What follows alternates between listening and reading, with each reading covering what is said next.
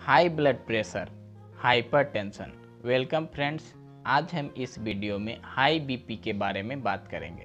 High blood pressure 140 by 90 से ज़्यादा BP है तो हाई ब्लड प्रेशर उसको बोलते हैं। अगर इसका इलाज समय पे ना किया जाए तो इसके कारण दिल की बीमारी भी हो सकता है, या दिल का दौरा भी पड़ सकता है आमतौर पर हाई बीपी का कोई लक्षण नहीं होता है, यानी कि हाइपरटेंशन का कोई लक्षण नहीं होता है।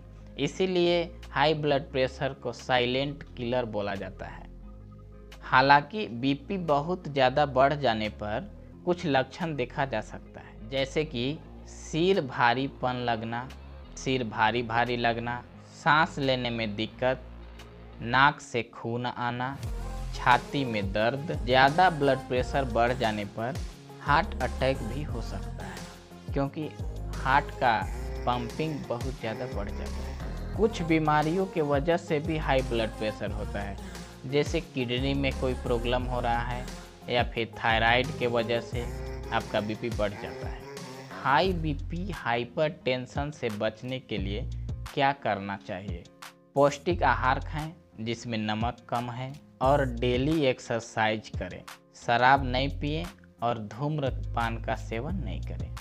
हाई ब्लड प्रेशर का कुछ दवाई भी है, जो कि डॉक्टर से चेकअप कराने के बाद डॉक्टर के अनुसार दिया जाता है। आई होप आप हाई बीपी के बारे में समझ गए होंगे। Take care of your